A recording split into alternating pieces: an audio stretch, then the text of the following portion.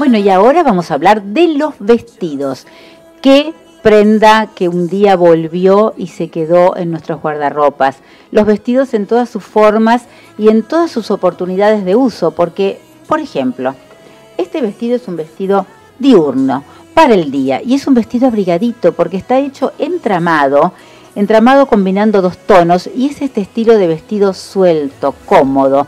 El tramado tiene encima spandex, es, es, lo más cómodo, abrigado, no marca, son sin forrar, son abrigados, son lindos, son sentadores y son muy juveniles. Se los recomiendo usar con media negra y un lindo estileto.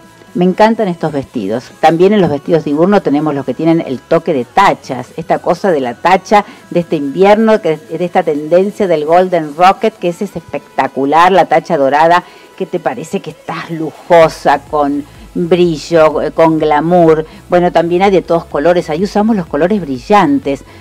También sentadores modernos, actuales y es lo que hay que comprarse, lo que va así a ser realmente descollante esta temporada. Después ya va, avanza el día y para la tarde y para la noche tenemos vestidos siempre eh, cuando yo hablo de tenemos vestidos de tarde, noche, también siempre respetando los dos estilos, los que marcan el cuerpo en chifón elastizado, los que tienen buenos escotes en la parte del frente, el escote ve que tanto nos estiliza, que tan lindo queda.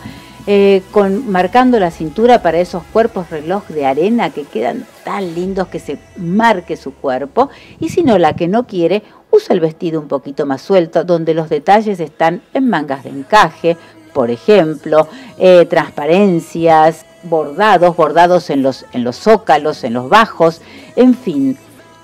Creo que si me olvido de pensar en alguna, por favor me lo escriben en la página o en el Facebook, porque la verdad que pensamos en todas. Y también tengo abriguitos, no tan abrigados, pero para usar sobre todos estos vestidos a la hora del cóctel. La que no le gusta el vestido lo usa un regio equipo de pantalón y blusa en seda monocolor, que también queda espectacular porque el monocolor no se estiliza y es muy elegante.